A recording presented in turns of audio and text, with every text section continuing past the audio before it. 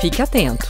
As provas do Enem 2017 serão nos próximos dias 5 e 12 de novembro.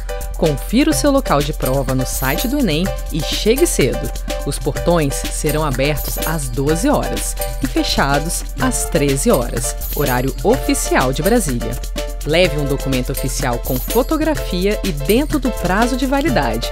E não esqueça sua caneta esferográfica preta, feita de material transparente.